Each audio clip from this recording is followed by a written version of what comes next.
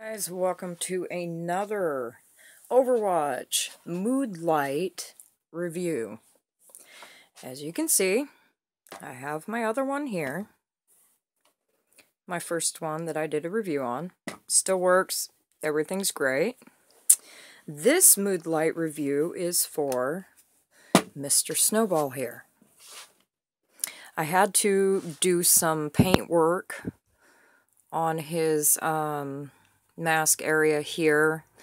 There was some scratches, so I redid it, refinished him. Uh, he looks really good. We're gonna get to him in a second again. Um, this is the box it came in. Excuse me, Snowball. Snowball Mood Light. When you push that button, he lit up inside the box.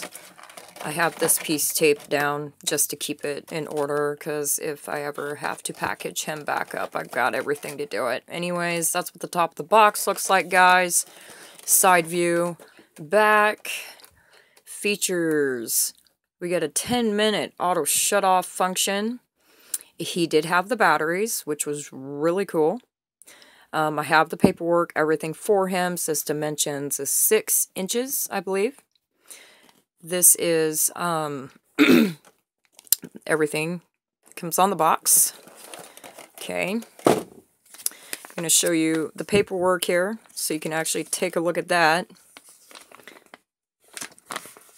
As for reviewing Mr. Snowball, I really do like him, guys. It sucks that I had to do paint work on him, but I actually can do stuff like that, so it really didn't bother me. Um, I just love Snowball and I love collecting Overwatch, so it's not going to discourage me from buying um, some of their products. Like I always say, I am not endorsed by Blizzard or Overwatch themselves. So I'm going to turn on Mr. Snowball. And down here you'll see a little battery compartment, the off and on switch. He does have a 10 minute shut off. So I'm going to turn off that one light so we, he can actually light up the area so you guys can see. Let's turn that off too. So light is on. I'm going to pull the curtain down a little bit so you guys can actually get the full effect of Mr. Snowball. There you go. He looks pretty cool, guys lights up. Um, yes, it does have a 10 minute uh, shut off function. I uh, was looking at that last night and I timed it and it shuts off within 10 minutes. He's great. Uh, after I redid the navy blue around his mask, um, I actually put in a little more black with it and I darkened it up so the mask looks Excellent. Snowball is amazing, guys. I'm going to turn him off for a second. Actually, you know what? I'll open the curtain, then I'll turn him off. Otherwise, you're going to see a pitch black screen. All right, here we go. Bringing up the curtain. All right, guys. Gonna turn off my trusty little friend here. Flip them over. Boop. All right. Snowball is excellent, guys. He really is. I love these mood lights. I think they're really cool. I'm going to get more of them because I love doing reviews for you guys.